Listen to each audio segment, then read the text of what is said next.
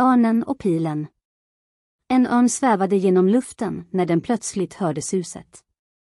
Av en pil och kände sig sårad till döds. Sakta fladdrade den ner till jorden, med sitt livsblod som hällde ut den. Se ner på pilen som den hade genomborrats med. Den fann att pilens skaft hade fjädrats med en av sina egna plymer. Ack, den grät, som den dog. Vi ger ofta våra fiender medel för vår egen förintelse. Berättelsens undervisning är Vi ger ofta våra fiender medel för vår egen förintelse.